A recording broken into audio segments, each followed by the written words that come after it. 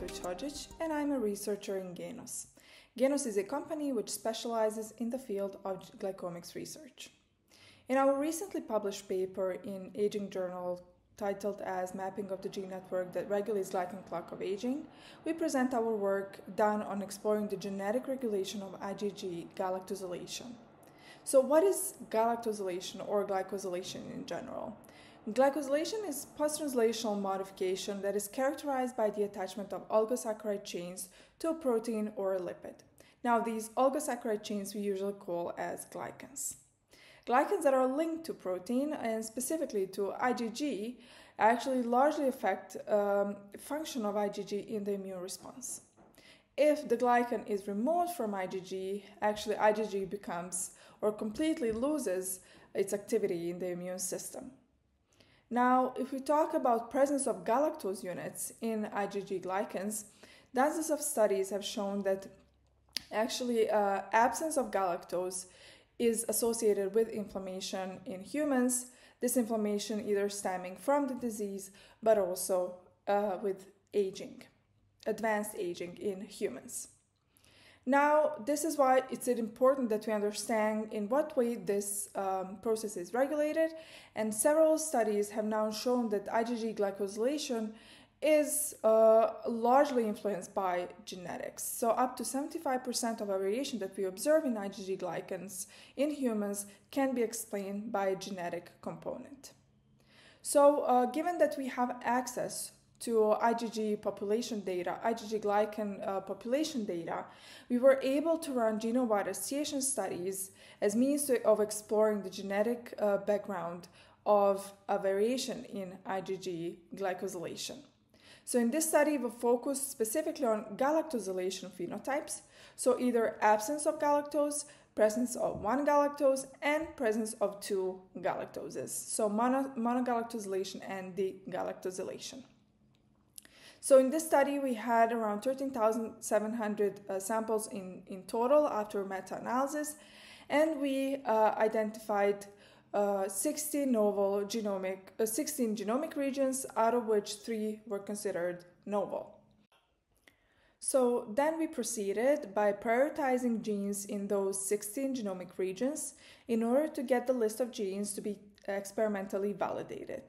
So we narrowed down this list to seven genes and we assessed their functional uh, role in IgG galactosylation in HEK293 freestyle expression system based on the CRISPR-dCas9 molecular tools. The system also uh, was transfected with plasmid that contains IgG uh, light and heavy chain genes in order to also excrete IgG, as the system does not inherently excrete IgG. So we selected seven genes and then did either uh, did both upregulation and downregulation of their expression. So the results of the study uh, now show that MANBA, TNFRSF13B, and EEF1A1 gene expression results resulted in the changes in of IgG galactosylation levels. Specifically, upregulation of MANBA gene uh, expression resulted in decrease of IgG monogalactosylated species. Now, why is this interesting? It's interesting because this MANBA gene encodes a beta mannose, which is an enzyme that cleaves beta mannose units from the non-reducing end of IgG and, of, and glycans in general, but uh, it was not previously associated with IgG glycans specifically. So it has a known role in glycosylation process, but also what is interesting is that mutations in MANBA are known to affect kidney function, blood pressure, and also cardiovascular disease uh, risk. On the other side, we have monogalactosylated IgG glycans that are also associated and identified as the best predictors of future cardiovascular events in women. Now, uh, since MANBA expression uh, was affecting the monogalactosylated IgG glycan levels, uh, we could hypothesize that there is a link between MANBA, uh, galactose, and cardiovascular uh, events. However, at this point, we can uh, we cannot really we do not know these mechanisms uh, that could explain this link, but also this really warrants our future studies. Also, we had the increase of the once we uh, in, uh, EEF1A1 expression levels were increased, we could observe decrease in galactosylated IgG glycans.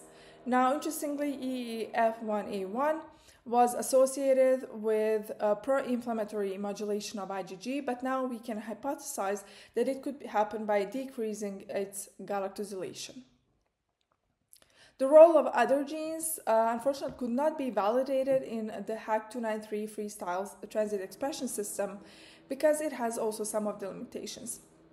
We have to remember that this, this system does not inherently secrete immunoglobulins, and epigenetic context of these cells is not equivalent to that of plasma and B cells, where glycosylation process actually occurs. In addition, it could be that the alternative galactosylation might depend on the gene expression in other cell types and also interactions between cells such as B and T cells. So we might not always observe the natural effects of the gene expression manipulation because we don't have the right biological context. However, we do plan to expand our GWAS studies by increasing the sample sizes, but also continuing to work on developing the efficient system for functional validation of our GWAS hits, uh, both for galactosylation but also other features of IgG glycans. Uh, and at the end, I want to thank my mentors Gordan Lauc, Lucija Klarić, and Fran Vučković for their support, my co-authors, our collaborators, and colleagues, and I hope we will continue to work on this important, on exploring this important process together in future. Thank you.